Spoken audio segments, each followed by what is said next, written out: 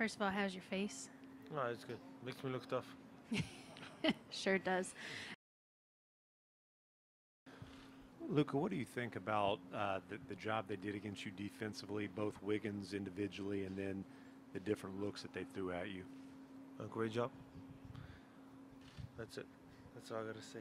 They did a great job.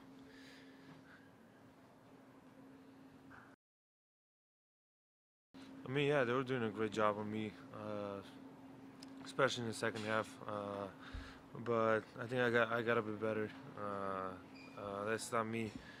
And as a leader, you know, I gotta I gotta be better for the whole group. So that, that's on me.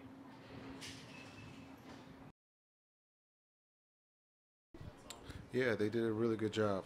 Uh, Wiggins uh, picking them up full court. Um, they they were you know box-and-one. They went zone, um, but they did a good job. You got give them credit.